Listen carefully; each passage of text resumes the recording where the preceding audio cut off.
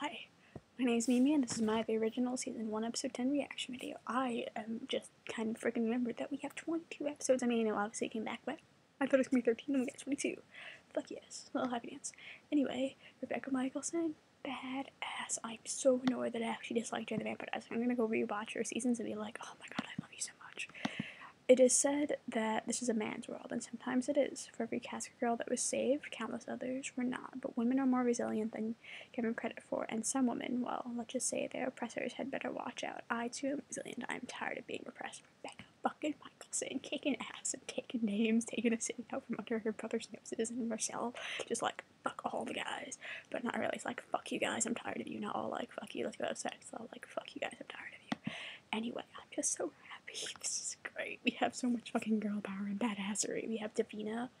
Just she basically made Klaus shift. They they just like she forced that on him, and that was great. I love Klaus, but oh my god, I love that. I love that they're like we're not taking your shit anymore. I love him. More so, I love Joseph Morgan, and Joseph Morgan is great, but Klaus is an abusive son of a bitch, passive aggressive, all those things. I'm excited for when we eventually have to get Caroline on the originals because then oh, we'll get a better side of him, but right now he's just like, I'm taking over my city and I'm just gonna do whatever fuck I want. I don't care who I kill to do it. So I get it. That's his thing. Klaus is an anti-hero. He's not gonna.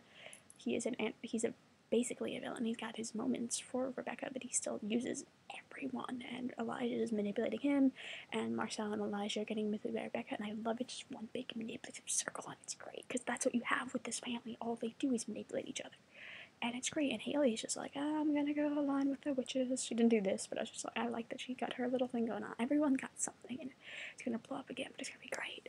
And I'm very excited for the baby thing. They keep on of, oh, Hayley's pregnant. She's not really showing, but she's kind of showing.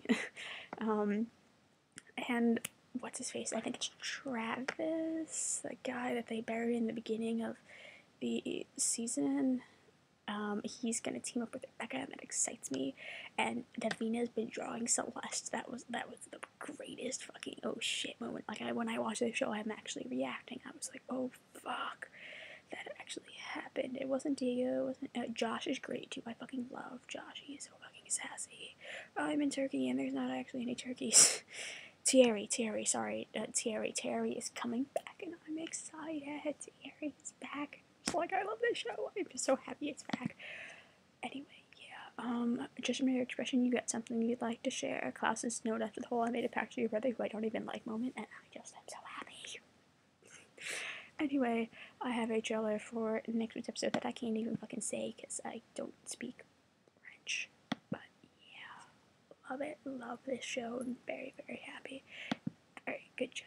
Good job. Julie Plec and whoever else writes this, or whoever's the fourth episode. Sophie, Sophie's doing her I'm gonna go bring that last thing, and fucking Cami now knows everything, and she just like, fuck you guys, I love that, I love that. And he was like, oh shit, she knows everything, and it just makes me happy.